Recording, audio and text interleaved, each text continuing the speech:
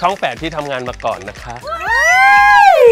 ขอโทษนะคะ พอดีพี่ชมพูเป็นนางร้ายไทยแลนด์นะคะปานีน้องเธอะค่ะ พี่ชมพูอย่าทำร้ายน้องนะคะ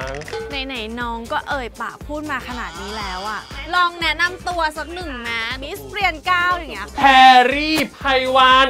มิสแกนจันทบุรี เสียงลือเสียงเล่าอ้างเพราะว่า ชาวเน็ต เอานี่จริงชาวเน็ตเนี่ยเขาอยู่ที่ไหนเขามีตัวตนไหมคะไอ้ที่ชาวเน็ตชาวเน็ตเป็นคนที่ซึ้งในพระธรรม แต่ทำไมเราถึงไปทำหน้า ใครพลาดหัวข่าวอะทำการบ้านบ้างนะคะใครเป็นโปรดิวเซอร์รายการคนดังนักเคลียร์ถ้าเป็นแพรรี่ไพวันเนี่ยอย่าพลาดเลยอย่านะล้มนะ คนรักสิบคนเกลียด90 ล้าน ขนาดกูถือย่ามมึงยังมีปัญหานะเดี๋ยวข้างหน้ากูถือตาลปัตรเลยเดี๋ยว